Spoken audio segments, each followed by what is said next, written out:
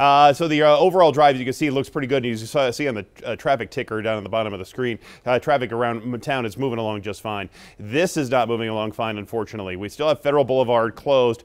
It happened. It, what happened now? Uh, Adams County sheriffs tell me that uh, unfortunately a person was hit and killed by a, driver right here on Federal, just north of I-76. Let me take you there now, and you see the investigation continues on the northbound side, southbound side, railroad tracks right there, and so it's going to be closed down between 64th and 56, and those roads can get you around it, whether you're using Lowell or Pecos to get around it right now. The rest of the drive is wide open anywhere else, whether it's on the highways here this morning, out across the drive going to Pena Boulevard. That's looking good for us here this morning. Security wait time out there is less than 15 minutes, and you see the speeds for the most part in the 60s and even 70s and even 80s south of Castle Rock right now. No issues for us uh, down here along South Santa Fe. Had some construction over in the overnight hours, but not seeing any big delays down that way. And you might hear construction out west on I-70, but I am not, again, seeing big delays out there right now.